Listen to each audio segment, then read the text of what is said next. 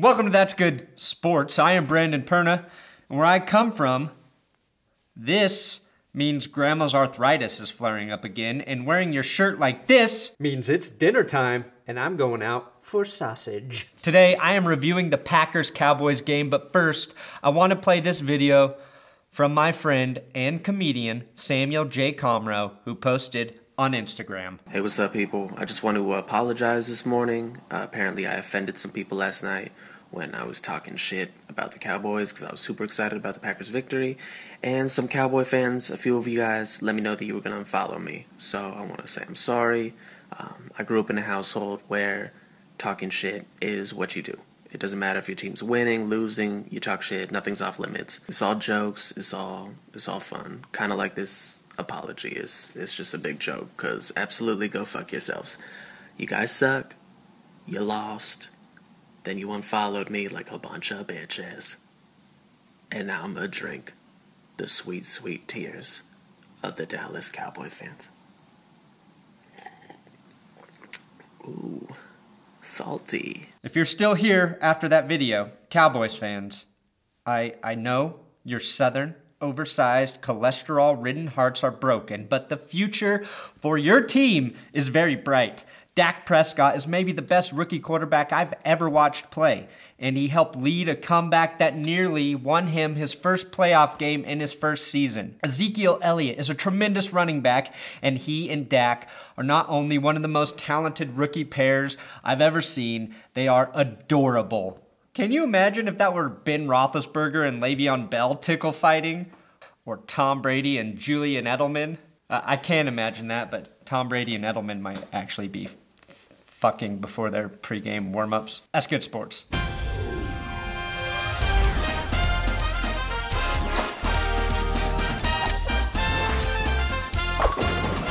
This episode is sponsored by CWHemp.com. Get your Charlotte's Web hemp oil with my promo code That's Good for 10% off of your order. If you have anxiety because your football team lost in the playoffs, get your Charlotte's Web hemp oil. If you have anxiety from real problems in the real world, get some Charlotte's Web hemp oil. If you want to make me happy, get some Charlotte's Web hemp oil. The Packers and Cowboys game was by far the most entertaining game of the 2017 playoffs. Both teams played their asses off, and both fan bases should be proud of how their guys performed. Dallas was unfortunately tasked with playing against a living football god in Aaron Rodgers.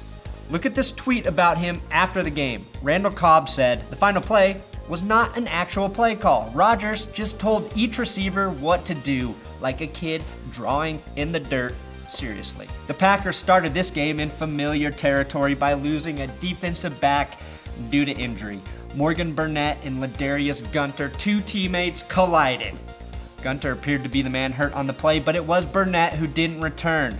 That play did stop the driving Cowboys, who called in Dan Bailey to blast a 50 yard field goal and go up 3 to 0. Packers were averaging 35 points per game heading into this playoff battle. Aaron Rodgers wanted to keep that point average on par and started the first possession by threading a needle to Randall Cobb, and then saying, the only thing better than threading one needle is to thread two needles. Rodgers' mom is an avid sewer, in case you were wondering. This is where the ball snuck into Richard Rodgers' lap. Sean Lee could literally whew, hear the ball whistle past his ear. I think the ball may have whispered into his ear. Nothing can stop Rodgers, you son of a bitch. Well, I don't I don't know if it it said the son of a bitch thing. Dallas was flagged for an unsportsmanlike conduct penalty for Brice Butler not participating in the huddle. That's right, the Cowboys' drive was murdered by a penalty nobody has ever fucking heard of. That penalty reversed a 22 yard gain by Terrance William, which made it feel like a 37 yard penalty. This was a 15 yard penalty so lame, even Roger Goodell tweeted, Why the fuck is this a rule? So now we all know you can't send a guy into the huddle and then have him leave the field without participating in the play. Although some would argue that's what the Rams offense did the entire season.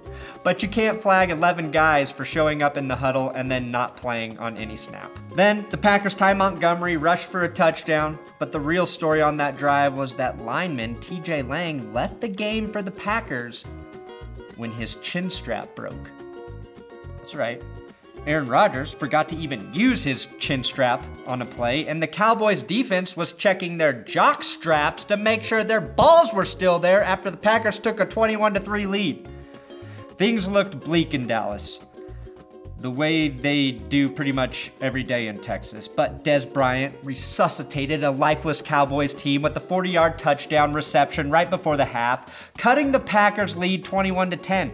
Dak Prescott was feeling it and by it, I mean completions. He was six for six, made two nice throws to Cole Beasley to give Dan Bailey a date with the Gooch.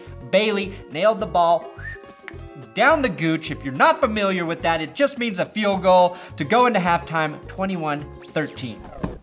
Aaron Rodgers started the second half on fire, lit or whatever the kids say these days by rolling right, getting hit, and somehow throwing a perfect pass to Randall Cobb on the sideline.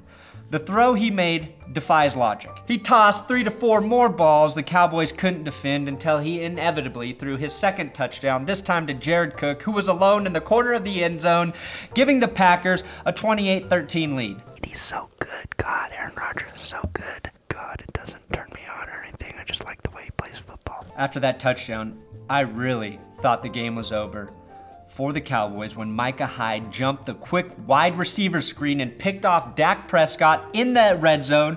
I have no idea why Dallas tried to throw it on a third and one in that situation. You have Elliott in the backfield and you throw it on third and one? What the hell? That is the easiest call to make in the NFL.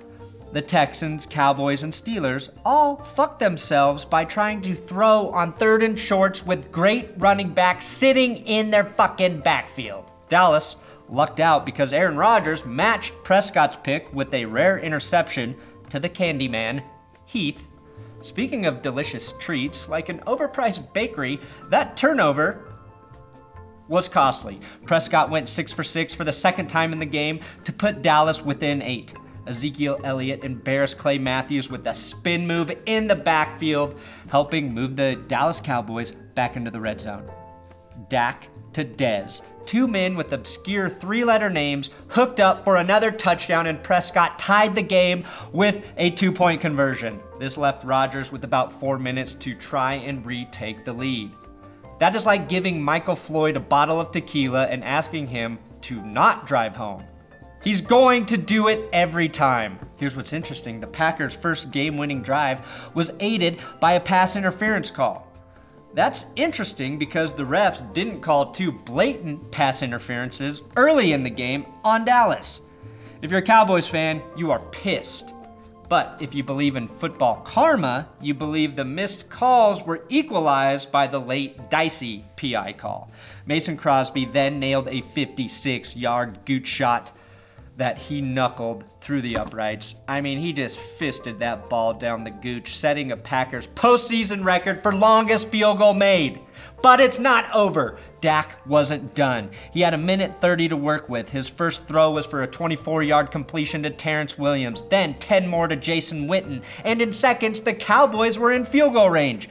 Dan Bailey answered Crosby's kick with a 52 yard gooch stinker of his own to tie the game back up or Dak up, as they say in Dallas, with 37 seconds left on the clock, which is the wrong amount of time to give Aaron Rodgers. You leave him with zero seconds or you die. Roger, the mother of Hail Marys, had two timeouts and 35 seconds after the kickoff in the bank. Could he do it? Well, remember that tweet from the beginning? It was a 35 yard heater from Rodgers to Cook on the sideline that forced both Joe Buck and Troy Aikman to say, Unbelievable! That set up Mason Crosby for a 51 yard field goal attempt. And Crosby gets iced. He nails it from 51, but Garrett called the timeout.